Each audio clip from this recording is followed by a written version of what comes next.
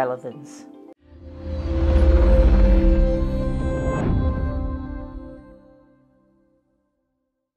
We are a growing, a mature, a maturing society, and we are very complex, right?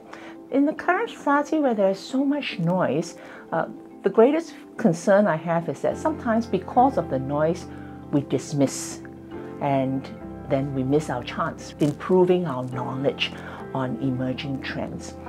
So I rely on IPS to go to the ground and surface unbiased scientific evidence, and then from there, we are in a better position to formulate policies that are relevant and that are very important you know, to bridge us over to the next phase of our growth.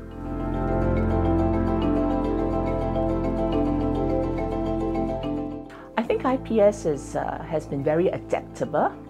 Um, it started off focusing mainly more qualitative, uh, you know, work that would you know tease out trends and uh, you know flavor you know, of our uh, social fabric and then over time when Singapore society became very much more reliant on unbiased data IPS then moved full swing into quantitative analysis and data collection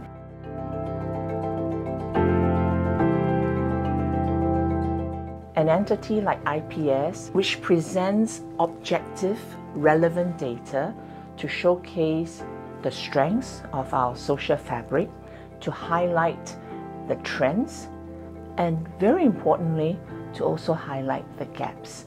So IPS plays an extremely relevant and significant role in our society because it accords to us the data that we need for an evidence-based perspective towards policy formation.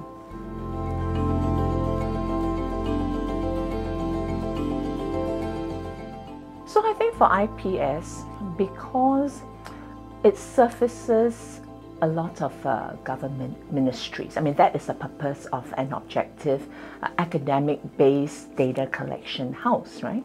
It runs into, for the naysayers in our community, um, the worry that, oh, it's just serving government's purpose, right? And I think that's not fair. Because if you look at the whole expense of IPS's involvement in social research, I believe the IPS team covers everything and anything that is relevant to Singapore society.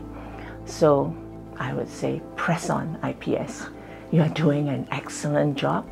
You hold an important space in our community where we want to help leverage up, right, uh, through unbiased, evidence-based perspective. And in this space, IPS is an important player and important leader.